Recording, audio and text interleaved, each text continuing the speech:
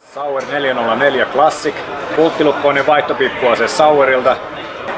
Edullisin puutukkinen malli, mitä, mitä aseesta löytyy. Muitakin tukkivaihtoehtoja löytyy. Eli kyseessä on tosiaan, niin kuin sanoin, vaihtopiippuase, joka käytännössä on takedown. Eli hihnalenkin sisältä löytyy työkalu, jolla ase saadaan purettua osiin. Ja piippu lähtee myöskin samalla työkalulla pois. Laukaisu säädetään samalla työkalulla.